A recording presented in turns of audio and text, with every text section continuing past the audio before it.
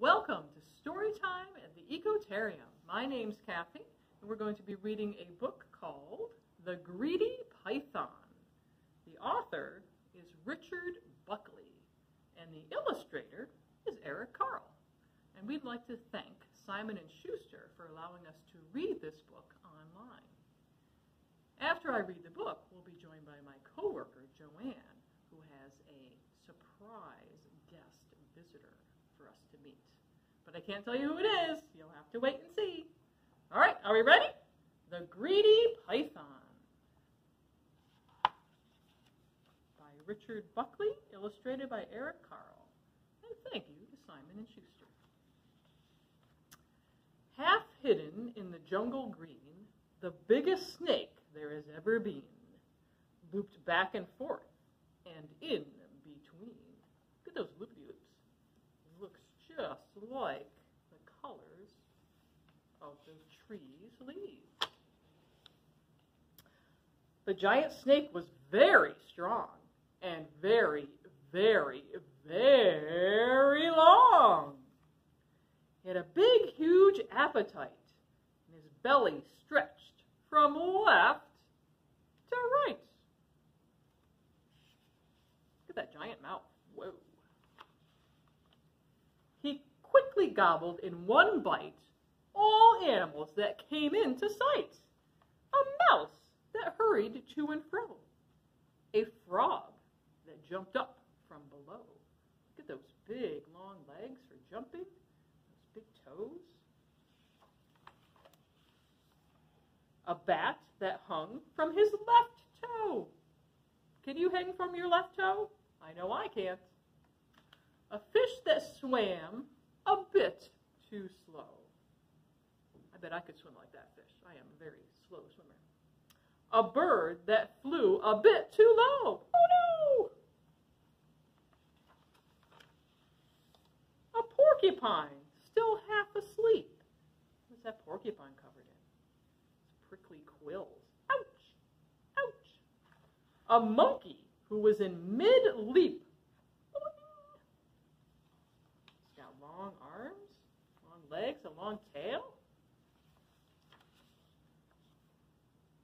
A leopard sitting in a tree, and a buffalo who came to see. What? Look how big that buffalo is. Those are huge animals. Leopard, a buffalo? I mean, they're bigger than me. An elephant, complete with trunk, was swallowed in a single chunk. I am too big for you, he cried. Oh, no, you're not, the snake replied. Look at that. Elephants are huge. Ginormous. At last, the python's meal was done, and he lay resting in the sun. I'm sorry, that does not look like a snake to me. Here's his head, but look at his whole body. It's full of animals. Oh my goodness. The animals inside of him began to jump and fly and swim. Imagine that happening in your belly. That was a. And when they all began to kick, the snake began to feel quite sick. Oh, my tummy. I ate too much. He coughed the whole lot up again, each one of them. And there were ten. Should we count them? Let's see. One, two, three, four, five, six, seven, eight, nine, ten. Can you imagine eating ten things? An elephant, a buffalo, a leopard, a monkey, a porcupine, a fish, a bird, a mouse, a frog, and a bat. That's a lot to eat. And soon he felt better, and what is more, he was hungrier than before. What? He had not learned a single thing. His greed was quite astonishing. Now, what is he going to eat? Oh my goodness, just don't know. He saw his own tail, long and curved, and thought that lunch was being served. Hmm. Is this a good idea? He closed his jaws on his own rear, then swallowed hard. You ready? And disappeared. The end. So this is Gir, and Gir is a corn snake. And you can see he's got a beautiful pattern on his underside.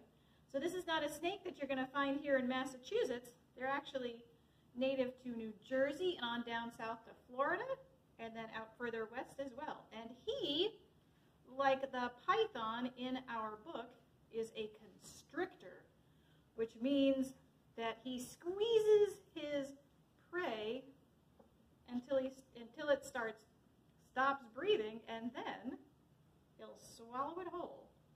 So while Kathy is doing the craft, we're going to let Gir climb on this tree. Alrighty. So the craft we're going to make today is our very own snake, and you only need a, you only need a couple materials. You need a paper plate, a pair of scissors, a string of any length of your choosing, and then maybe uh, some crayons or markers, or if you want to make more of a 3D decoration, a glue stick or glue or tape, some sort of adhesive, and then I have some colorful tissue paper. But of course you could use construction paper or you could just color your own paper with your markers. So we're going to make a spirally 3D snake that you can hang. All right, so the first thing we're going to do is just cut our spirals.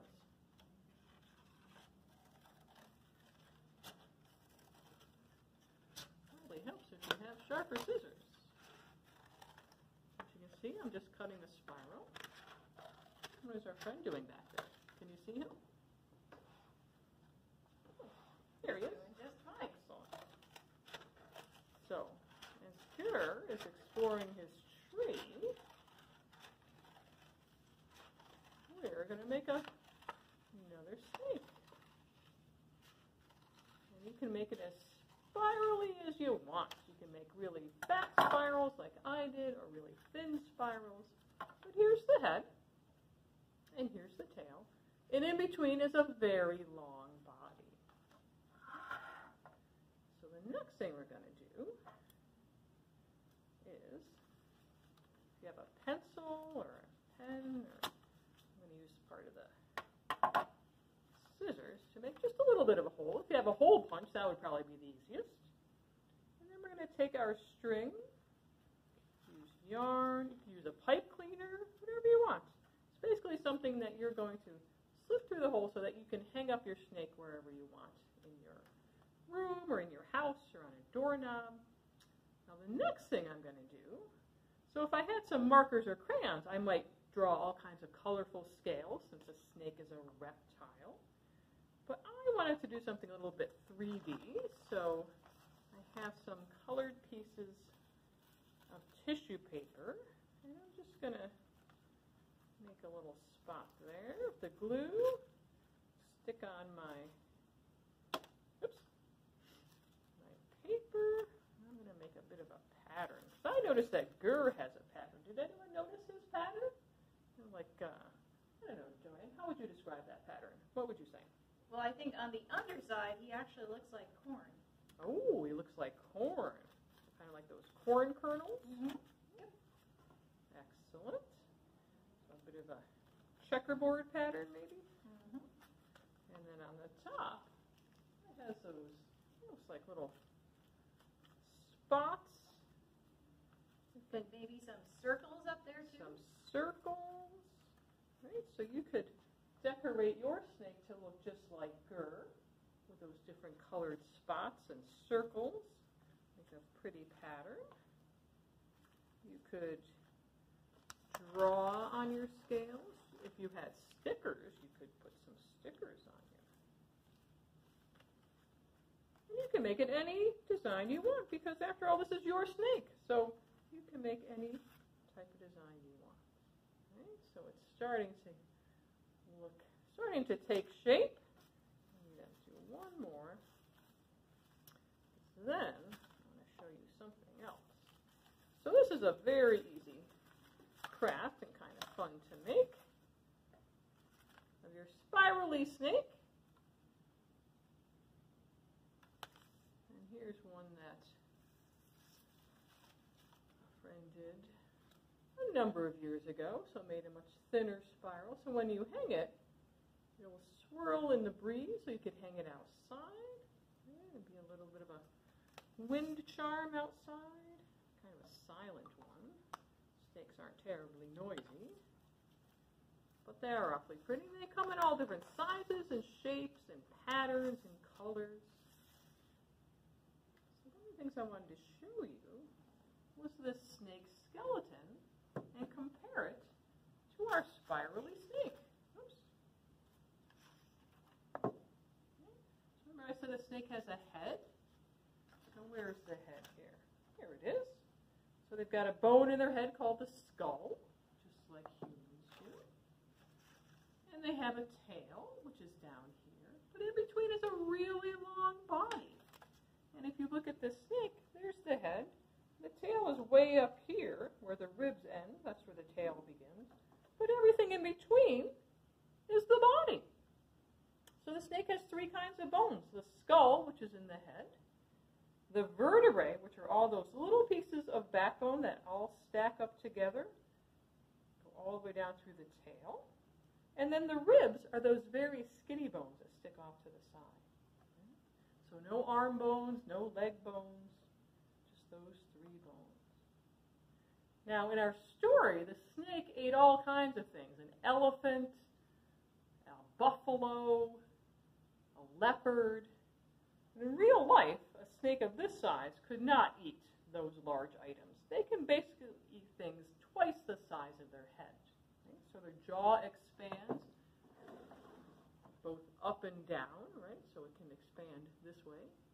And it also can expand left to right. They don't have a fused jaw like mammals do. So their mouth can get really big. So they can swallow things up to twice the size of their head. But it has to be able to fit into their body. Now their body will also expand, but there is certainly a limit to how big an item a snake can eat. So what does Gir like to eat? Do you know? Uh, I think Gir has mice. Every couple of weeks, they offer the wildlife staff, which is a fantastic group of people here at the Ecotarium. They offer him a couple of mice to eat, and most oftentimes snakes will eat when they are offered. Out in the wild, he would certainly eat whenever he could. So a corn snake out in the wild would eat a variety of small mammals like rodents, mice, and small rats. Voles, right? so small furry animals. And then they also might eat birds.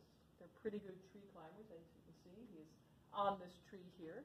They live in um, rocky hillsides and they like to cruise along stone walls, but they're also found in farms and fields okay, where corn might be growing. Hmm. If they eat mice, why do they hang out in a cornfield? What do you think? Is that where the mice are? Could be. Yes, yes. Yeah. So eat a variety of small mammals and birds. Do you think it would be easy to see Gir outside if he were outside in a field or a stone wall? Wow, look at those patterns and colors on him. I think he is very well camouflaged. I like to call that the big C, right? camouflage, blend in with your surroundings. I think he would be very difficult to find. What do you think, JoAnn? especially in a rock wall or someplace like that, hmm. yes, he would blend in very well. He's even kind of blending in on this tree.